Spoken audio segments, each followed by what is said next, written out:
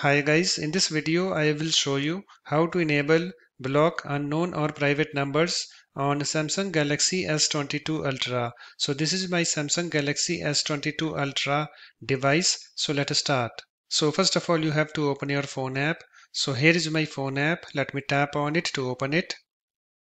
It's now opened and after that just tap on this three vertical dots at the top right and then tap on this settings and then tap on this block numbers.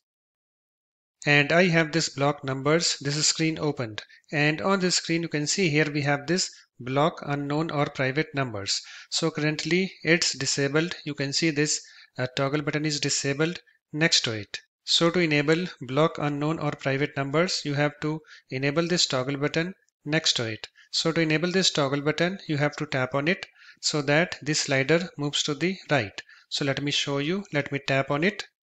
And you can see guys, it's now enabled. So once it's enabled, any incoming call that is unknown or private number will be blocked. So it's now done. After that, you can go back, go back again and close the phone app. So that's it. In this way, you can easily enable block unknown or private numbers on Samsung Galaxy S22 Ultra. If you like my videos, please support this channel by subscribing to it. Thanks. Bye bye.